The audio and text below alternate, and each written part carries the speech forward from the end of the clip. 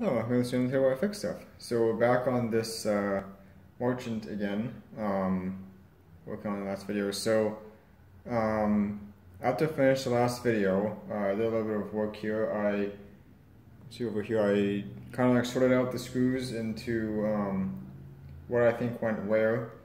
Um, I also noticed that this piece here was out of time, so I took the side back off and retimed um, everything again. And I also put um, that brass washer, uh, put one of those brass spacers in here. So now this is much tighter than it was last time. So I think we should be good there. So the next step is this piece. So make sure that we've got this part here facing straight up.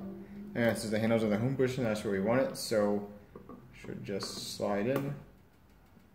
We get it to, so I think we're off by one, two, three. That should be that. And then this side, I've already put oil in here and oil um, in that side, so this side then should just go on. Maybe. I have noticed that this piece was bent a little bit. I tried bending it back, but I had to bend it back a little bit more here.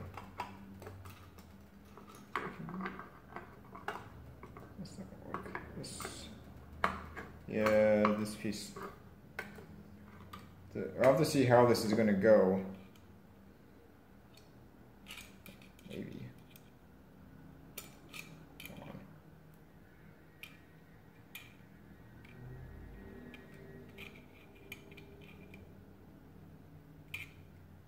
See if that'll fit now. Uh, we'll probably have to fit this better later once we get everything in place, but oh. it's not going to go on that way. I'm going to have to. Oh, maybe it will.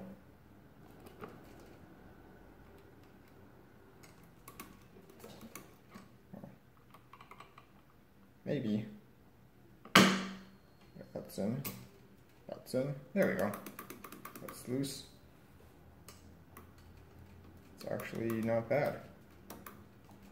not much play on that at all. So I don't have two washers in there. So when we tighten tighten this down, we'll have to see if that's going to be uh, too tight or not. But there we go. So that's in.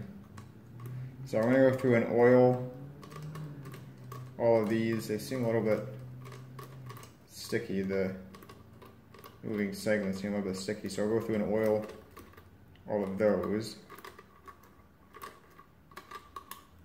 Oh, seems pretty good. Um, I've also attached this piece to the bottom of the carriage. Now if you remember, this piece had a broken spring. There's half of it. So this is what I have in there for now. Um, this is not the right size spring, obviously. And I just uh, kind of like coiled the, like tightened, kind of like wrap the end a little bit tighter um, to make it fit in the little hole there. It does work. You see it springs back we focus there, you can see it. It does spring the piece back, so it will work. Um, and it shouldn't hit anything, even though it's a little bit bigger. Um, something else I wanted to mention, I was wrong about where these pieces went. I had them down here like this to hold up this assembly, but they actually go right here, and then this assembly will mount like that um, and be spring loaded kind of like, not, not like that maybe. Well, we'll have to see how it goes on, but that's where those pieces go, and you can tell because, see, they've got two um, locating dowel pins and two screw holes. And you can see the bottom here, you can even see like the outline of the piece a little bit, and then the two locating dowel pins and the two screw holes. So like they obviously go right there like that unless I already installed the other one. So um, I should be able to hopefully slide, put the, that piece on here and slide it underneath the carriage, under, underneath, the carriage, underneath this drum with this drum installed. Um, we'll see how that goes. Uh, also now I can install this uh, transmission piece, I think, the shift lever. So this piece would normally be spring loaded up like this and rest against the bottom of the cover. And when that's like that, this is this is pretty free, so should be fine. I can reinstall the detent spring into that. Um,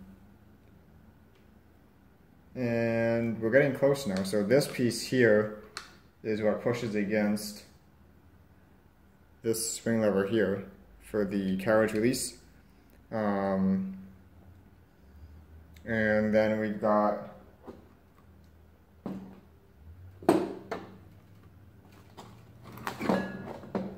this piece, which I, in a previous video, I mentioned that this had to go on first, but actually doesn't. You can still slide it in one of these holes here.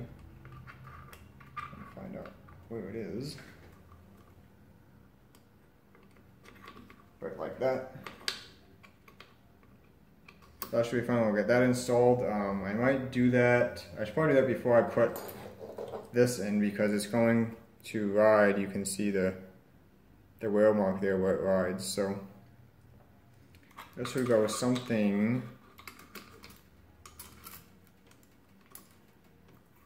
something like that. And then there's a cam in here that this uh, fork rides on. Actually looks like this side rides on it. So maybe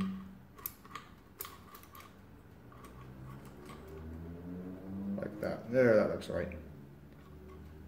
So then this piece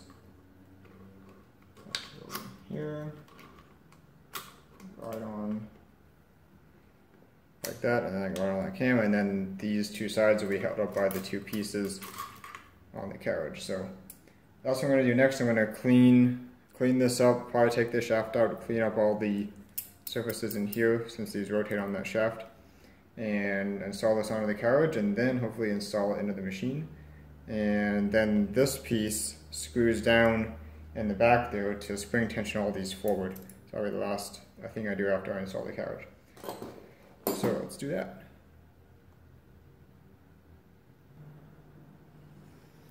Alright, so I've got these installed here. You can see the bracket there. Um, I just assume that the spacer goes on this side. When we actually put it in, we can test that and make sure. It'll just slide in like that. But before we put it in, uh, I want to clean the, this off first. So a lot of people ask me what I use for cleaning uh, old grease and stuff off this stuff. And I just used a lacquer thinner. And it's really good at dissolving the grease. So you can see how dirty this is. Let's take some of this.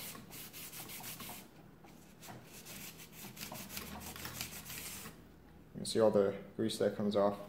It's off pretty easy.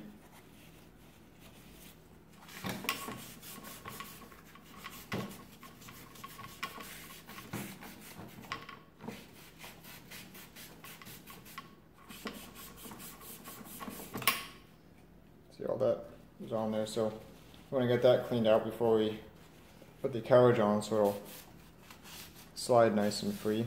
I also took the gear off of there so I can clean under that too. It looks pretty gone there.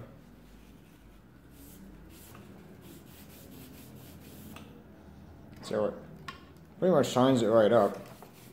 Um, some of this looks like the metal itself is actually dark, not that there's, not that all of that is grease, but we can clean around that a little bit.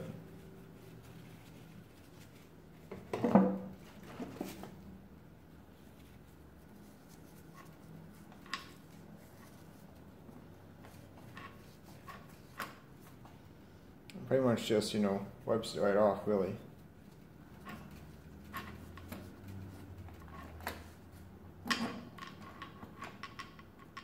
See how that's shining up there?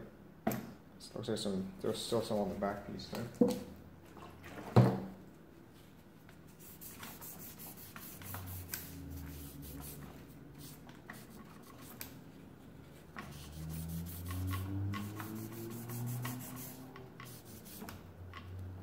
a little bit down in there just might be darkening of the middle itself.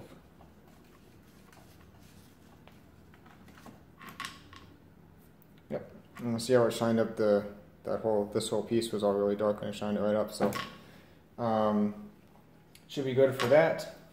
Should we get edges here? I think should be sufficient for the carriage there.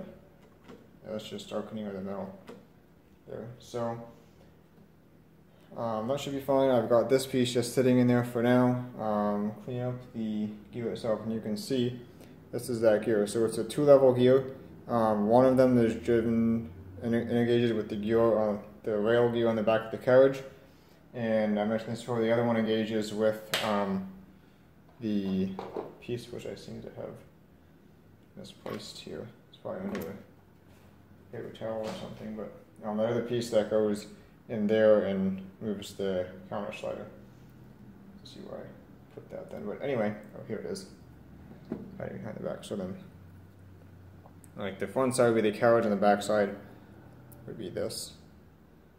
With the top one. So uh, clean this up too.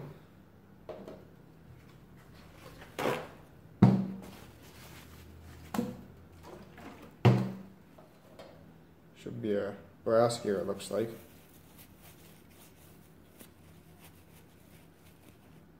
Looks like it is.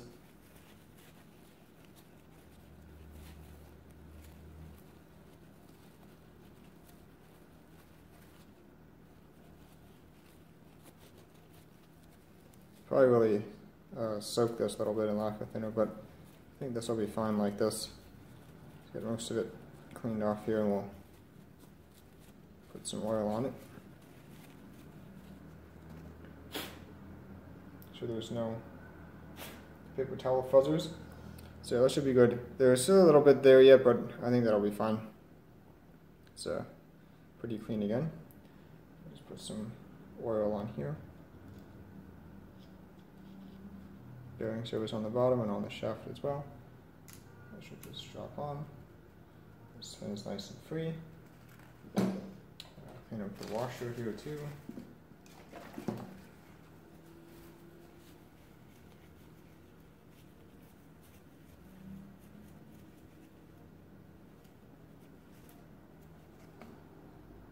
put that on and have a little screw that goes in there.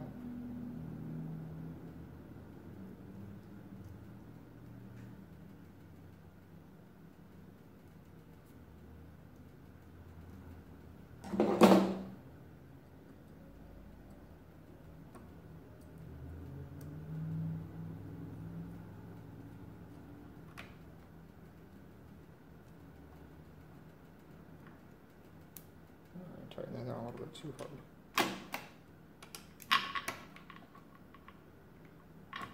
There's supposed to be a spacer or something in there. Seems free now, but tighten it down all the way. It'll be okay. Yeah, seems fine. Not sure why I jammed the first time. Anyway, that, that should be good.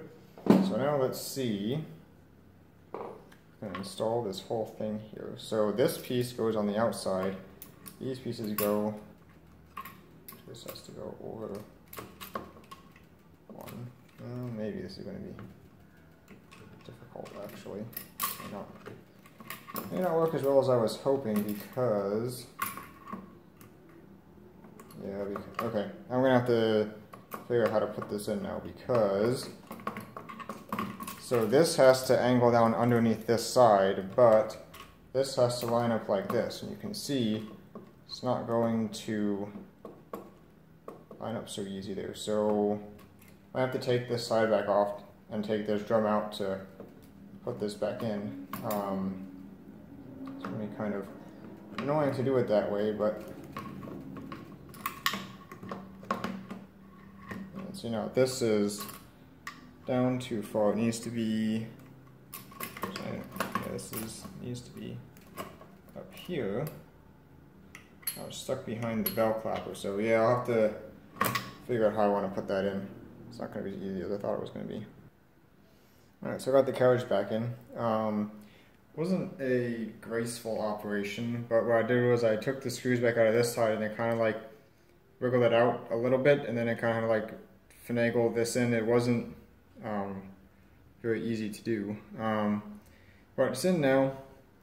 Um, I'm kind of thinking the way that the Marchant expects this machine to be assembled is to assemble all the pieces separately and then set the whole thing on the base uh, because these sides have dowel pins that go into the base.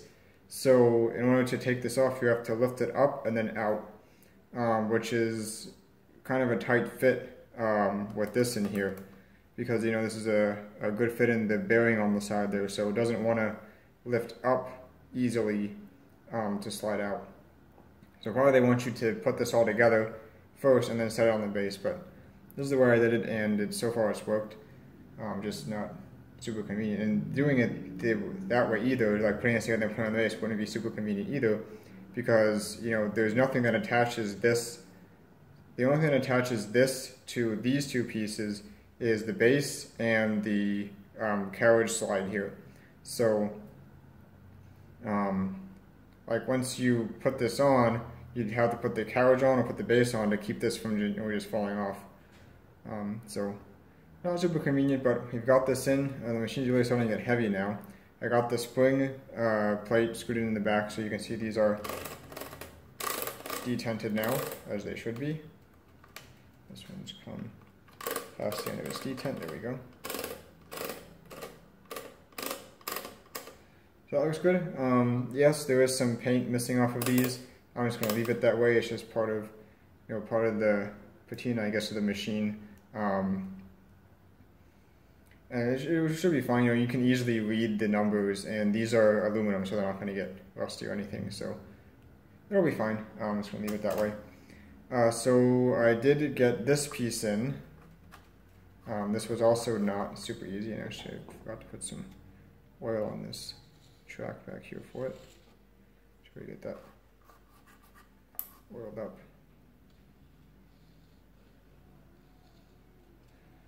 Slides nice and easy. Put some oil on here too.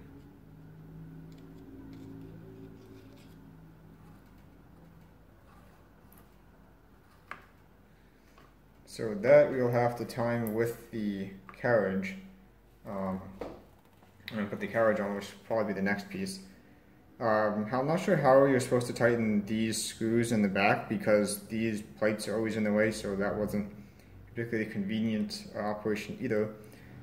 Uh, something to note, this screw back here in this corner, uh, there's, two, there's a screw in the front and a screw in the back. Um, this is a shorter one because of this thing. If you put the long one in, it'll hit against this, and you can see this is spring loaded like it should be, so that's that uh, spring we put in. Seems to be working. And you can see when I push that, these things go down and that releases the carriage. So these are like the ratchets on the bottom of the carriage. Um, you can see this comes up to push the carriage one way, and that pushes it the other way. Uh, so that seems to be working. So, I'll show you the back side. She's really starting to get getting some weight now with all the parts going on. And you can see this plate here um, has the springs for these. And then there's one spring that goes from this piece, which has the cam on it, um, over to this pin here. And the cam, the cam follower goes on the front side of the drum. Um, I think they changed this design somewhat in the later models because I think the last calculator I worked on, the last Marchant calculator that I worked on, this was not mounted to the carriage plate, it was mounted to the bottom, I think. Um, I think there was an XLA, so it may have been, that may have been why. Um, anyway, that's back in now. Um, so far, looking good. The bell won't work in the home position because the because this piece here hits against the carry tab, so it'll only ring when the carriage is not in the home position. Or not the carriage, the moving segment drum. As you can see, this is it's got a little bit of play, but should be fine. Um, so yeah, I think the next step is going to be taking a look at the carriage, just cleaning up a little bit and putting some oil on it. And then we need to time the carriage with this piece so that the counter finger lines up correctly with the uh, drag gear in there. So while I have the carriage off, you can kind of see the uh, moving segment action. So as I rotate this around, see how these pop out? And now these ones are going to start falling in because they've added what they're supposed to add, but this one's set to like 8 or 9, so that one's still out, and then it falls in all the way down at the bottom after it's driven, you know, the full length of that moving segment. So like these ones pop out up here, then most of this rotation is missed, and then down here is where they would start driving, so they're only going to drive, you know, like two or three teeth, then they fall back in. Well, this one is driving its whole, um, whole distance to I have this locked in there. Okay. So that's just uh, basically how those work. And like I said, if you want to see what that mechanism looks like in here, you can watch the Marchant XLA series where I took this whole thing apart um, because that one had little plastic uh, tabs on the top of each of these and two of them had broken off so I had to make little uh, metal extensions on the end of these pieces and then reform the, the I made, I made a line out of putty um, we formed those tabs to go on the end of these things. Um, so that's why I took that whole thing apart to get to these pieces so I could work with them. Uh, you can check out that video if you want to see how this is all put together. So anyway, um, on to the carriage. Alright, so I've got the uh, carriage reinstalled. Um, I'm not going to slide it now because this piece here is spring-loaded down against the carriage. Um, I don't want it to you know, scrape the paint or anything. So, um, but I've got it, um, is all the way in the, um, like the lowest order position.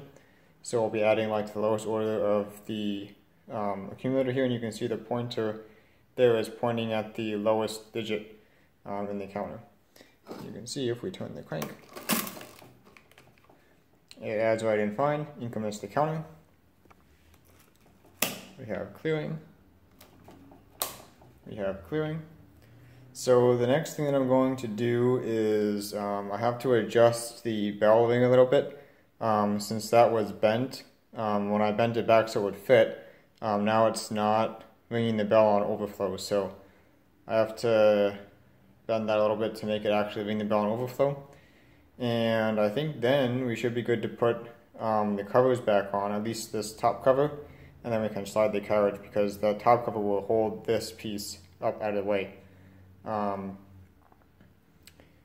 there's one screw seems to be missing for this piece. I've got one in, got one in here, but we were missing one for here.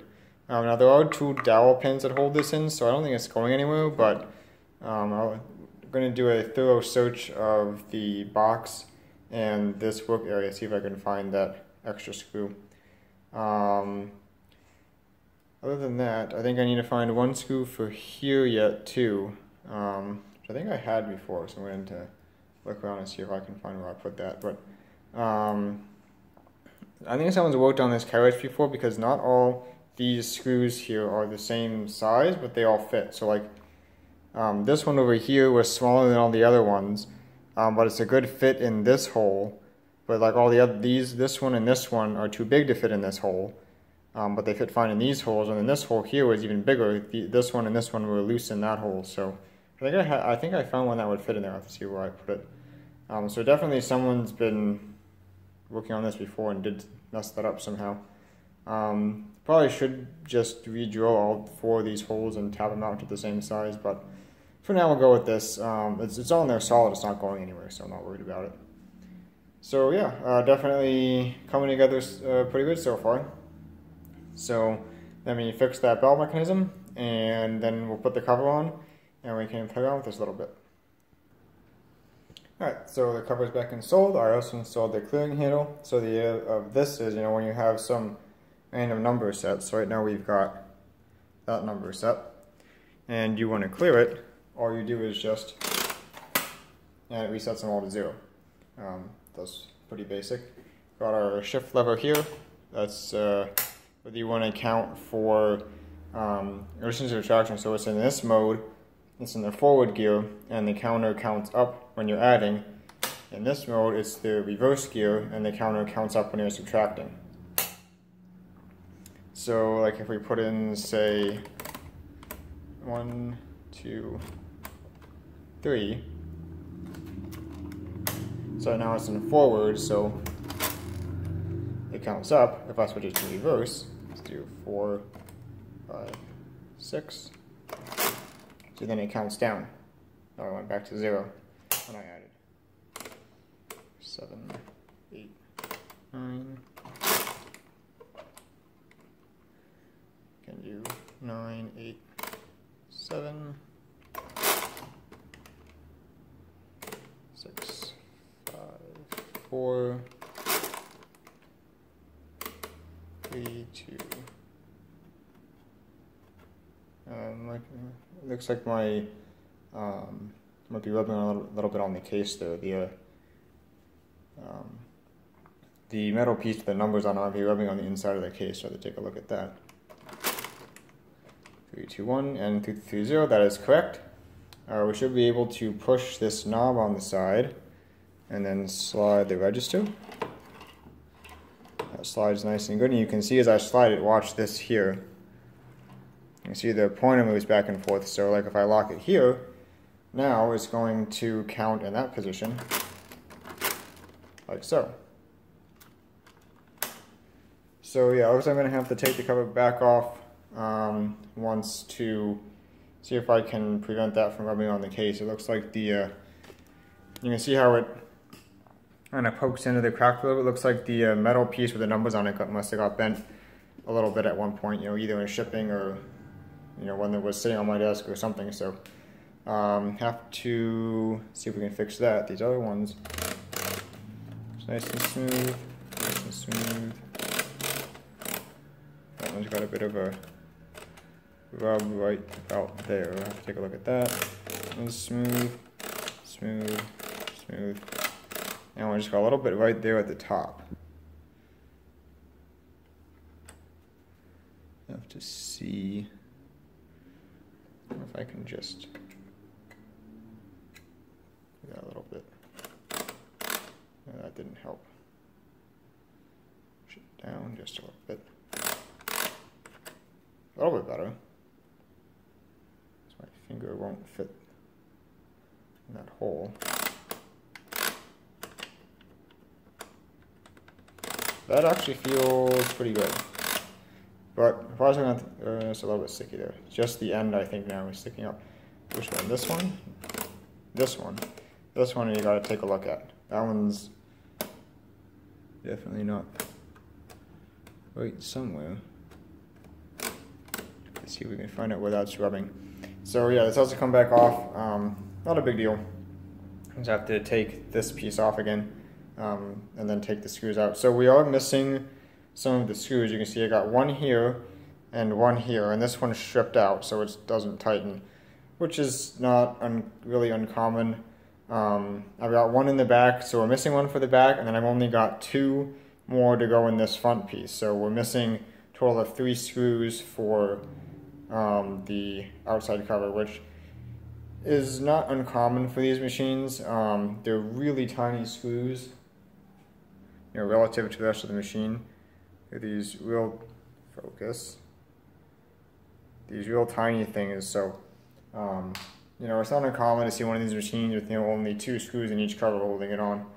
Uh, I think I've seen sometimes you know just one or no screws in the cover especially this top cover because this will stay on without any screws in it unless you like try to lift up the machine by it, which is I wouldn't recommend even if there is screws in it. Um, this cover needs to have screws to hold it on, but this one you can just set on and it'll pretty much stay on. So um, something else, we're missing two spacers for the decimal points on the accumulator. I could show that. So you can see how there's a screw here and a screw here. And then these pieces are supposed to slide back and forth on this rail. But in order for that to happen, the rail has to be spaced up. And I'm not sure if you'll be able to see this or not. If I, you can see at the end there how it's right down against. But if you look at, say, that one, see how there's a spacer there? And then that gives ample room for the pointers to slide. So those are missing on the accumulator on both sides. So it's tight down on both sides. So I won't be able to use the decimal points on the accumulator because they'll scratch the paint if you try and slide them like that. So uh, I don't have anything that'll work in there, I don't think. So that's something that I'll have to be on the lookout for, just two little spaces. I could, maybe I could find some, uh, just a stack of real small washers, but it's uh, pretty small stuff, so I'll have to see. Anyway, let me see if I can fix the rubbing on whichever column it was, this one, on this column. And then I think we should be just about done. Um, this piece has to go on, but the, the cover has to go on first. So this just goes on there like that, and then let's do one step. That's, that feels pretty nice and smooth. So that the cover has to go on there first. So yeah, um, pretty satisfied so far. Alright, so we're back together now. Um, I went through the box, the only thing I found was, I found one more case screw. Um, I found another one of these brass washers, and I found the middle piece of the broken spring. So that spring is actually bigger than I thought it was. Um, where this went, I'm not sure. Uh, when I put this together, um, you know, all the tolerances on all the drums in the shaft seemed pretty good to me you know, maybe you might be able to fit this um, behind the gear on the counter driver shaft, but um, there's really not that much play there, so I'm not going to worry too much about it. Um, you know, maybe if I ever have a reason in the future to take this apart, I'll see if I can find a place for that, but you know, everything fits pretty well the way that it is, so I'm not going to worry too much about that. Um, the case screw that I found was different than all the other ones, so I just stuck it in the back so it wouldn't stand out. Um, so now I've got three screws in the top case and three screws in the bottom case. So see, we're missing one down there. Um, I couldn't find the other screw for the plate that holds this assembly in. Um, and I don't have the lock washer for it either, so I'm just going to assume that I was missing when the machine was taken apart. Um, I'm not too worried about that because it does have one screw in it and the dowel pin is located, so it shouldn't be uh, going anywhere. So uh, I think we should be good. So we can try some numbers.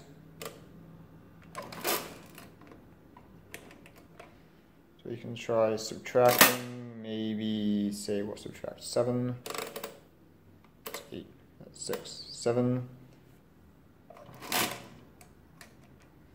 Looks good. Clear.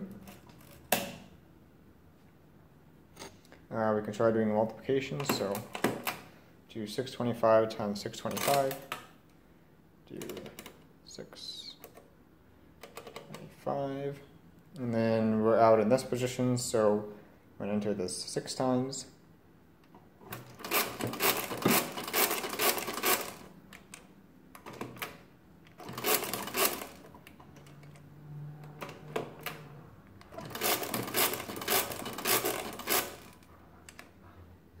Go, 365, that is correct.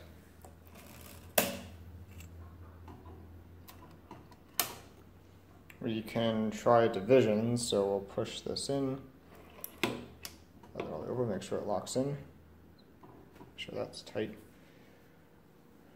We can do favorite 3, 355.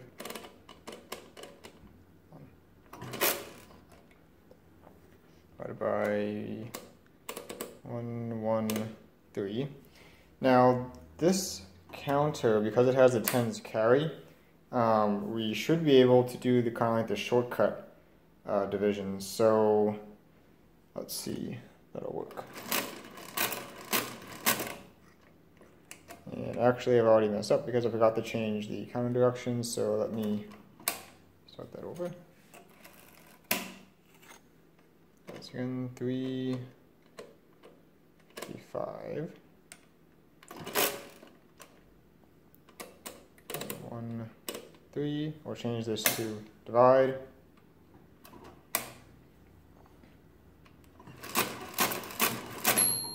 Bell rings. So now, theoretically, because this has 10 carry, you should be able to shift over and then add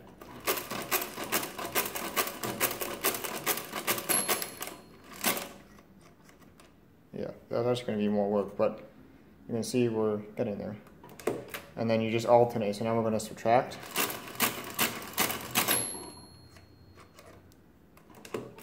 Now we're going to add. Oops, too far.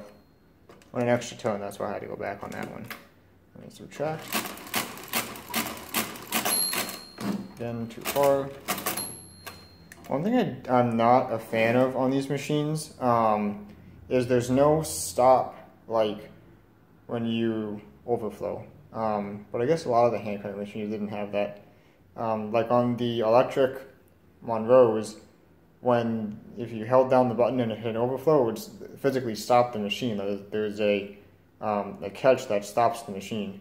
Um, it's kind of nice to have that on here because when you're you're going, um, you, you for me anyway, I usually end up starting the next revolution before I notice that the bell's wrong. And then I have to finish that revolution and then come back one.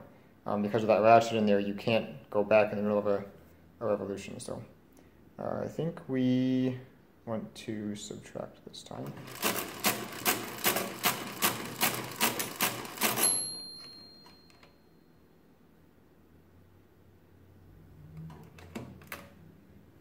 I might have messed that up. Anyway, you get the idea, 3.141. Um, and try doing it the other way, which would actually be probably less work. But you get the idea that I just alternate as you go along. See if we can. So the normal way would be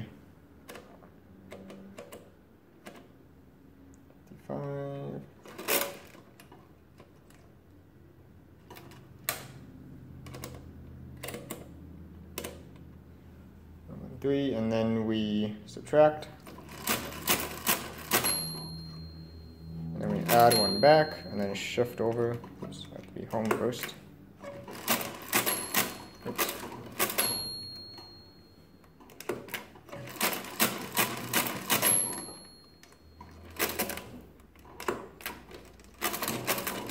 Oops, going wrong way. So in the normal way, you just subtract until you get the, hear the bell ring, which means you got an underflow, and then just add one back and then shift, and then every time you're subtracting, got the underflow, add one back, shift over,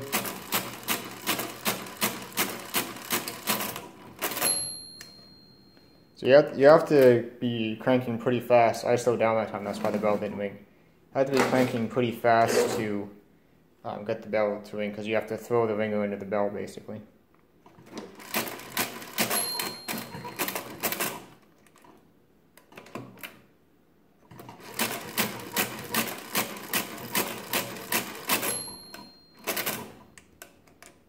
That's why the bell doesn't ring every time because you're not cranking fast enough. It won't have enough momentum to actually hit the ringer. And there we go. 3.1415992. So there we go. Um, as far as I'm concerned, this is looking pretty good. Everything seems to function as intended. Um, so I'm going to call this a success. Uh, seems to work fine. Um, the paint is pretty sad on the case. It's not terrible. Um, you can see it's one there, it's one there, it's one off there one off here. Um, up here on the top, there's a, a patch here. I tried cleaning this. Um, didn't seem to make any difference whatsoever. So, um, not sure if that's like rubbed down to the primer or what exactly the deal is there. Um, you notice that the machine moves quite a bit when you're using it. Um, that's because the feet are gone.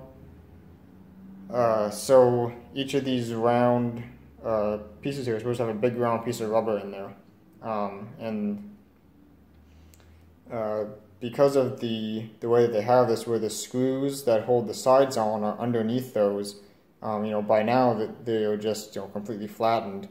Uh, you the guy that took this apart had to just chip that out, chip those feet out to get the screws out. So that's why we have no feet, and that's why I kind of uh, slides on a little bit. But um, yeah, pretty satisfied with this. So let's just do a quick uh, comparison between some other machines of this type. Well, you can see three of the main styles um, uh, that Marchant offered. Um, so this is the XLA. This is kind of like a cheaper version Uh, you can see it doesn't have the counter up here, it has it down here like the normal um, pinwheel calculators had. Um, this uses the same moving segment mechanism in the drum. And this is the one where I took the drum apart because I remade two of these uh, tabbies on top here. Uh, so ironically, this being a cubic machine, um, it actually doesn't have the problem that the XLs have with that drum because it doesn't have that drum. Uh, this does not have tens carry on the counter register. It's just, um, you can see if I, so forward is black, backwards is red. So each digit will just roll over. Um, you can't change the direction or anything. It's just if you go backwards, it counts up in red, and then when it gets to nine, then it goes to a black and then it counts down to zero again. So that's all the all you get there. Um, then we have the XL, uh, which is like the fancy machine. I'm not sure whether they released both of these at the same time or released this later as a cheaper option. Um, but this is the more expensive um, fancier machine with the tens carry on the counter uh, register and the transmission for you to choose which direction you want to count in. And then the third main style is the keyboarded machines, um, which basically, this right here is basically an XL mechanism. Um, but then instead of having the uh, levers to set, they replace that with an arms on the back, which are connected down to the keyboard mechanism. So this drum in here will be pretty much the same. Um, just that instead of having tabs bolted on the top here, they have the tabs uh, back somewhat further, and then there's a lever that runs under these keys. When you push the key down, it basically pulls a lever down the back, the same as like pulling lever here would do. Um, so this is actually an electric machine. This is the EEG9, which is basically the most advanced uh, mechanism um, that Marchant this is, this is the last step of the XL mechanism um, before they change to the uh, super speed or the silent speed ones. Um, and so this this is fully automatic. So uh, we can shift all the way out. I've demonstrated this before, but I really like this machine.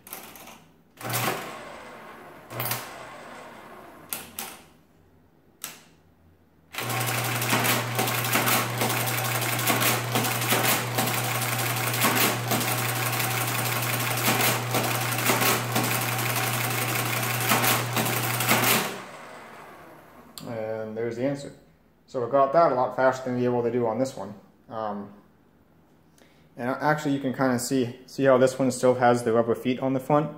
Um, the back ones are squashed because that's where the motor sits and it's a, it's a big fat motor back there.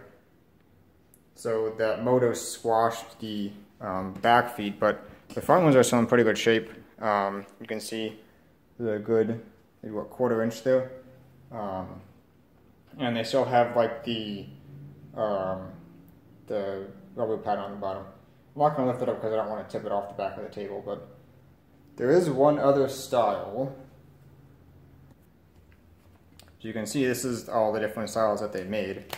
And basically, you've got, you know, your keyboard machines. Um, so there's the EEG there.